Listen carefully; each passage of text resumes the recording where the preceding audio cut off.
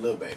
Got like, you, dude, you. dude, for real, be consistent and in beast mode, so I can rock with him.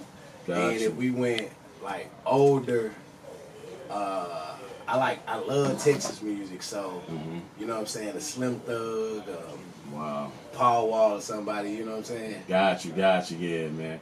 And um, let me see. Uh, do you feel that that you know, like social media has like some kind of push you out there more, or is it is it a, a good thing? Like the pros and cons to it, like Man, um, COVID changed things. yeah, Like, like I met C at a show. right, right, right. So I was on the whole. I ain't really worried about social media thing before COVID. Yeah. Because I was building that that hand to hand fan base like a lot of people stopped building. Because I would be on shows with artists that may have seventeen thousand followers on Instagram, Mm-hmm. Right. but then we pull up in the building Right. and it hold 150 people. right, right. 90 people there for me.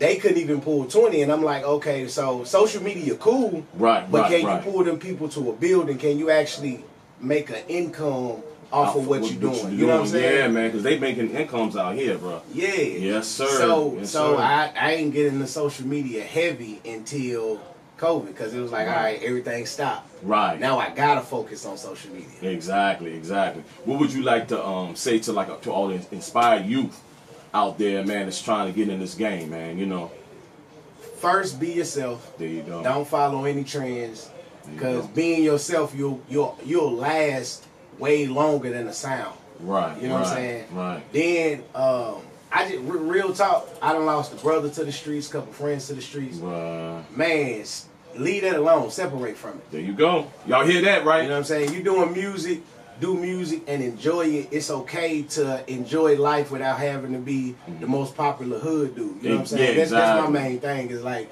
we don't have to keep seeing the same consistent thing happen for us to realize, hey, bro, we need to do something else. Exactly, exactly. Yeah, man.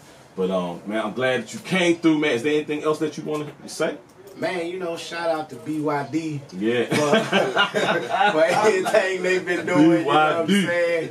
They've been showing love forever for Yes, my guy. He been yeah. screaming free Nene. I'm saying free Nene. Yeah, RP Stewie. Let my little cousin go. No doubt. And you know what I'm saying? Uh, y'all gonna see me do a lot. Okay, okay. All right, why don't you give everybody, you know, your social media and everything? How can they check for you? Man, look up C R O N Y K illness, Cronyk Illness. That's on all platforms: TikTok, Instagram, Facebook, Twitter. No doubt, no doubt. Man, I'm glad you came through, man. Glad, you know, had to have you and everything. So looking forward to seeing you again. For sure. All right.